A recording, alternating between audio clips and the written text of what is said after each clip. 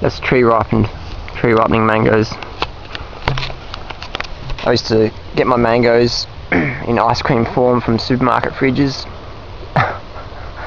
and uh, now I'm watching the sunset in a abandoned mango orchard in Northern Territory, Queensland. The locals complain about how much fruit costs around here. And I'm eating mangoes as big as bad. so yeah, get out there man, I almost dropped it. Get out there and, and just be in nature man.